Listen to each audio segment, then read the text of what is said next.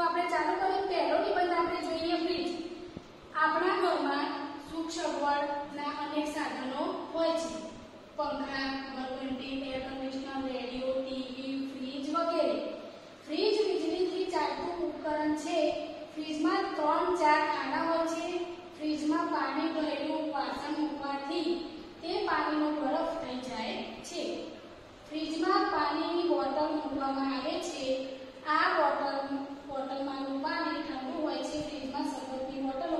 અધરું આપણે આગળ લખાઈએ હવે વિદ્યાર્થીઓ તમારે નિબંધની નોટમાં ફકરો પાડીને તમારે જે મેં એરા કરે છે એ તમારે ફકરો પાડીને નોટમાં લખવાનું હવે આપણે આગળ જોઈએ હવે વિદ્યાર્થી મિત્રો આપણે જોયું કે ફ્રીજમાં શરબતની બોટલો મૂકવામાં આવે છે ફ્રીજમાં દૂધ દહીં છાશ શાકભાજી અને ખાટા વ- અ, ખાટા વધેલી વાનગીઓ મૂકવામાં આવે છે ફ્રીજમાં મૂકેલી વસ્તુઓ લાંબા સમય સુધી બગડતી નથી કેટલીક દવાઓ અને ઇન્જેક્શનોને ફ્રીજમાં જ રાખવા પડે છે જેથી તે બગડે નહીં આ ફ્રીજ આપણને અનેક રીતે ઉપયોગી છે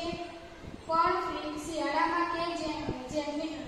શિયાળામાં કે જેમને કાયમ શરદી રહેતી હોય તેઓએ ફ્રીજનું ઠંડુ પાણી ન પીવું જોઈએ હવે વિદ્યાર્થી મિત્રો શું કહે છે કે ઘર દરેકના ઘરે ફ્રીજ તો હોય જ છે ફ્રીજમાં સુખ સગવડની અનેક સાધનો હોય છે દરેકના ઘરે અનેક સુખ સગવડો હોય છે જેમ કે પંખો ઘરઘંટી air conditioner radio TV fridge વગેરે ફ્રીજમાં વીજળીથી ચાલતું ઉપકરણ છે ફ્રીજમાં ઘણી બધી વસ્તુ મૂકી શકાય છે ઠંડુ પાણી માટે ઠંડુ પાણી પીવા માટે બોટલ ભરીને મુકાય છે લસ્સી મૂકી શકાય શાકભાજી મૂકી શકાય ફળ ફ્રૂટ મૂકી શકાય પછી બરફ મૂકવા માટે તમે કોઈ કોઈ બાળકો કે એમાં મૂકી મૂકી રાખો તો તે બરફ બની જાય છે આઈસ્ક્રીમ બધું મૂકી શકાય છે કોઈ બી વસ્તુ તેમાં મૂકીએ તો તે જલ્દી બગડતી નહીં દૂધ દહીં છાશ શાકભાજી અને અમુક વસ્તુ આપણે જે ખાવાની વસ્તુ હોય જે વધી હોય તેની પણ આપણે ફ્રીજમાં મૂકી શકાય છે જેથી ફ્રીજમાં વસ્તુ બગડતી નથી અને ફ્રીજમાં દવાઓ અને ઇન્જેક્શનો પણ મૂકવામાં આવે છે તો વિદ્યાર્થી મિત્રો હવે તમારે આ જે ફ્રીજ છે પહેલો નિબંધ છે આપણો તે તમારે તમારી નિબંધ નોટ અલગથી બનાવવાની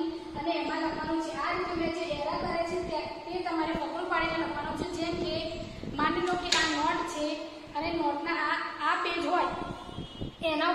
ઉપર જ લખવાનો, આ પેજ પર નિબંધ આવશે નહીં. પછી તમે આ પેજ પર લખ્યો હોય અને જે નિબંધ બચ્યો હોય એ આ પેજ પર લખવાનું, પણ એના પાછળના પેજ પર એ નિબંધ ફરી લખવાનો નહીં. આ પેજથી જ ચાલુ કરવાના દરેક નિબંધ. હવે આપણે જોઈએ નિબંધ નંબર બે. તો હવે વિદ્યાર્થી મિત્રો, પહેલો આપણે ફ્રીજ જોયો ફ્રીજ નિબંધ જોયો ફ્રીજ અને હવે આપણે બીજો નિબંધ જોઈએ ચોમાસું. તો વિદ્યાર્થી મિત્રો ચોમાસું વર્ષા વર્ષાની મુખ્ય વર્ષની મુખ્ય ત્રણ ઋતુઓ છે શિયાળો ઉનાળો અને ચોમાસું ચોમાસામાં વરસાદ પડે છે તેથી તેને વર્ષા ઋતુ પણ કહે છે વર્ષા ઋતુમાં આકાશ કાળા કાળા વાદળાથી છવાઈ જાય છે ઠંડો પવન ફૂંકાય છે વીજળીના ચમકારા અને વાદળના ગડગડાટ સાથે વરસાદ તૂટી પડે છે આથી નાના નાના મોટા સૌ આનંદમાં આવી જાય છે આગળ આપણે બીજું જોઈએ તો વિદ્યાર્થી મિત્રો આપણે કે મોર કડા કરીને નાચે છે દેડકા ડાવ ડાવ કરે છે ખેડૂતો ખેતર ખેડે છે એ ખેતરમાંથી બી વાવે છે થોડા દિવસોમાં એ બીમાંથી લીલા છમ છોડ ઉગ્યા નીકળે છે ધરતી પર પણ લીલું ઘાસ ઉગે છે કુવા તળાવ નદી નાળા પાણીથી ભરાઈ જાય છે રક્ષાબંધન જન્માષ્ટમી નવરાત્રી અને દિવાળી જેવા મોટા તહેવારો વર્ષા ઋતુમાં આવે છે લોકો આ તહેવારો આનંદથી ઉજવે છે હવે આપણે આગળ જોઈએ તો વિદ્યાર્થી મિત્રો આગળ જોઈએ કે વર્ષા ઋતુમાં કોઈ વાર ભારે વરસાદ પડે તો ઘણું નુકસાન થાય છે. અનાજ પાકતું નથી તેને લીલો દુકાળ કહે છે. કોઈ વાર, કોઈ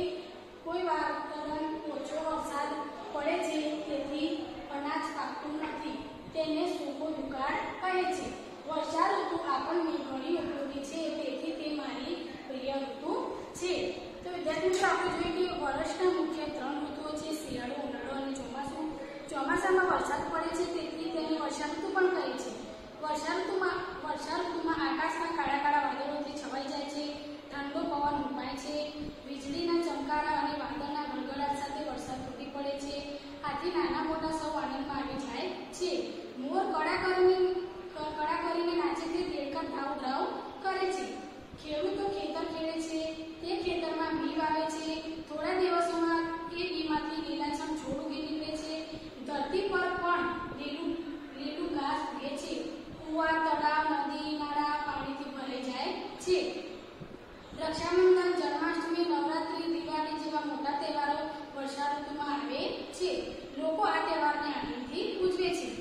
escuchar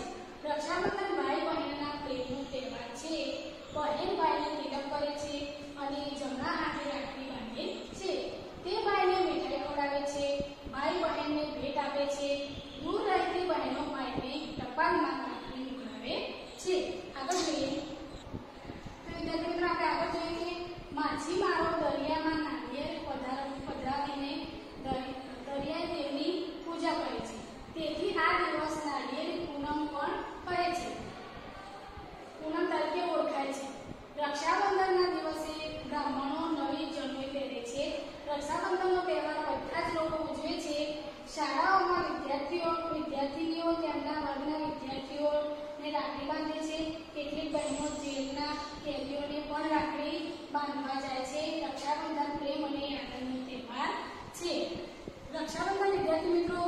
સૌથી સારામાં સારો તહેવાર છે ભાઈ અને બહેનના રાખડી બાંધીને એકબીજાને ઉજવે છે, તિલક કરે છે, મીઠાઈ ખવડાવે છે અને ભાઈ બહેનને ઇનામ પણ આપે છે. તો આપણે જોઈએ કે રક્ષાબંધનનો તહેવાર શ્રાવણ મહિનાની પૂનમના દિવસે આવે છે, તેને બળ્યો પણ કરે છે. રક્ષાબંધન ભાઈનો પ્રેમનો તહેવાર છે. બહેન ભાઈને તિલક કરે છે અને જમા